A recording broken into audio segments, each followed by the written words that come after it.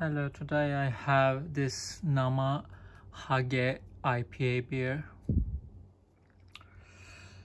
It's kind of craft beer. It's famous from Akita, Akita, Akita Prefecture, I think. It is IPA in Imperial uh, Ale. The alcohol percentage 6.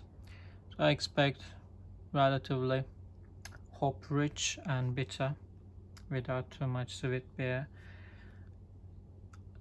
There they used um, Yokote Ibuki hops and uh, as well as New Zealand and hops from America.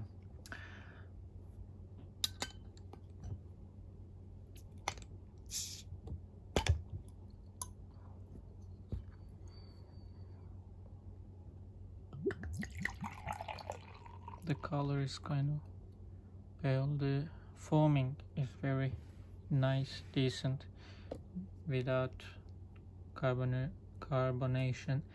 And the color is kind of orange kind of dark. Um,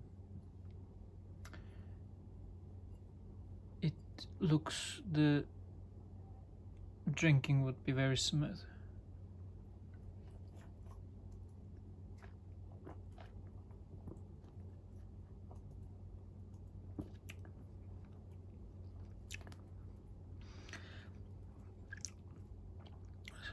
very so ever slightly bitter but um, sweet but it's not um, very sweet actually. Very bitter.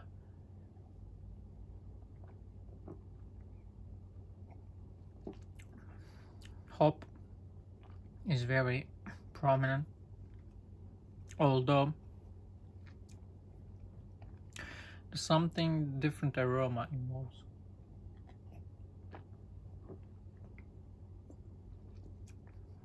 a little bit mellowness and